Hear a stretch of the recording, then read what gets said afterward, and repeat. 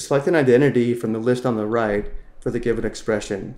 We are given the expression cosine to the fourth x minus sine to the fourth x. For the first step, let's factor this expression.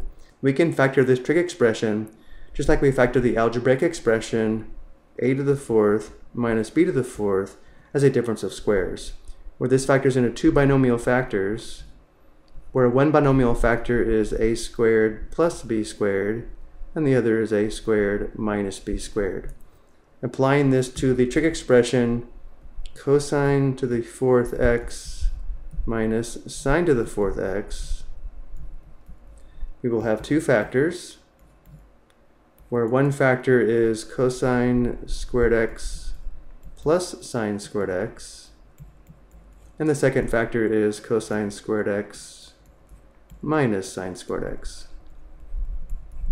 From here we should recognize that cosine squared x plus sine squared x is equal to 1 using the Pythagorean identity shown here below.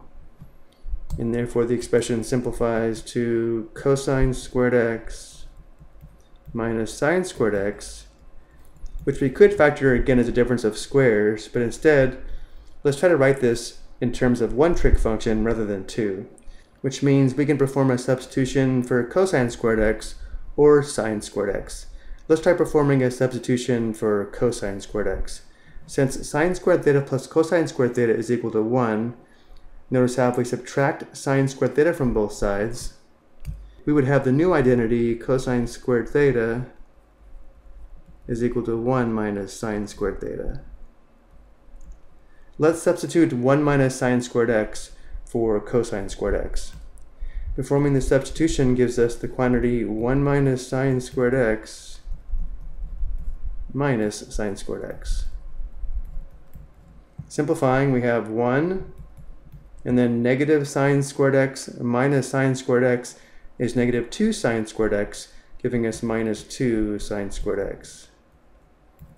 And therefore the given expression simplifies to 1 minus 2 sine squared x, which is the last choice in our list, and therefore we select 1 minus 2 sine squared x.